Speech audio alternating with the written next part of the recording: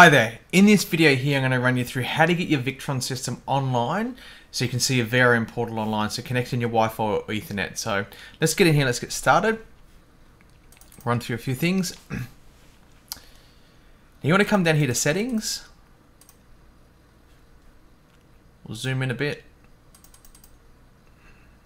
Here we go. So I'd normally just start from the top and just work your way down. It's probably the best way. So if this is the first time you're in here, and a lot of this stuff for me is going to be online already.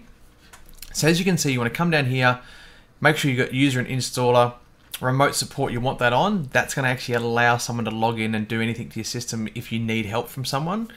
So you want to make sure there. This here, it'll likely say offline. Mine says off online because it's actually already online, already on there. So you want to be able to see online. So we'll come back out here. Now the firmware, to be able to update the firmware here, you're going to make sure it's online before you can do any of this sort of stuff. So we'll jump back out here. Remote console. You want to come down and make sure this disabled password check is ticked. We'll just click on it. Reduce that zoom a bit. There we go. Looks a bit better.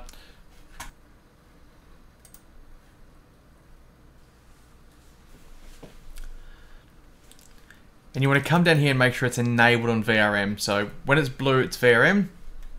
And you can see the remote console, the status is online. So that makes basically means it's connected.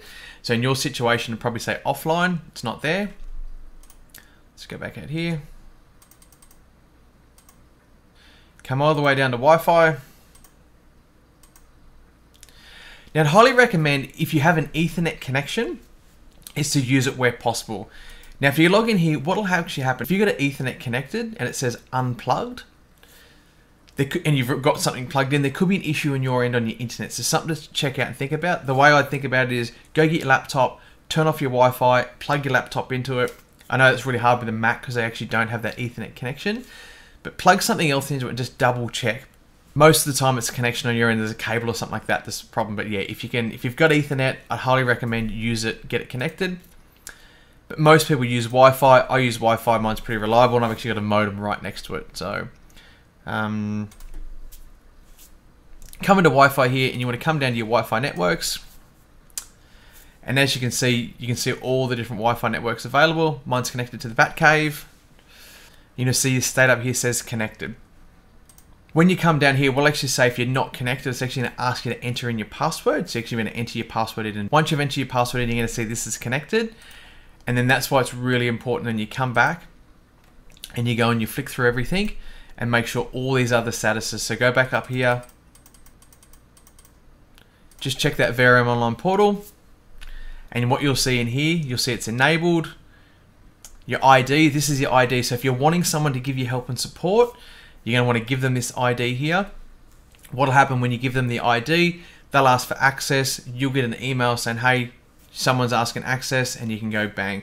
Now in this situation, if you want someone to log in and remotely help you program things and do stuff, you're going to want to give them full control. Otherwise, they're not going to be able to log in and do the things that they're required to do. You can change the logging intervals here, use secure um, connections, and down here you want to see this no connection error. If you see in DNS error 154 or something like that, the system's actually not connected. And this is the other thing that you want to make sure is on is this VRM two-way communication. So that's actually to allow anyone trying to help you remotely pull the information out of your inverter and actually have a look and help you with anything remotely.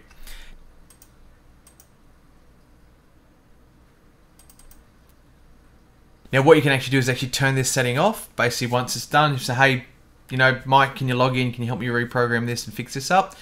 And then afterward there's a few different options you can turn off or you can put a password you can change it and things so there's a few different options there if you want for security to hey once it's done it's done uh, and the other thing I'll just show you with this here, so if you have given someone access to it, so yeah, if, if someone has logged into your system and done something, Victron actually keeps a record of it here. So you just come in here and have a look and you can see all the different dates, what was accessed, what was changed on the settings and things like that. As you can see here, I've been playing around my system at three in the morning here, making some changes and some settings been making some educational videos. You can see everything I've done. It's all recorded there online.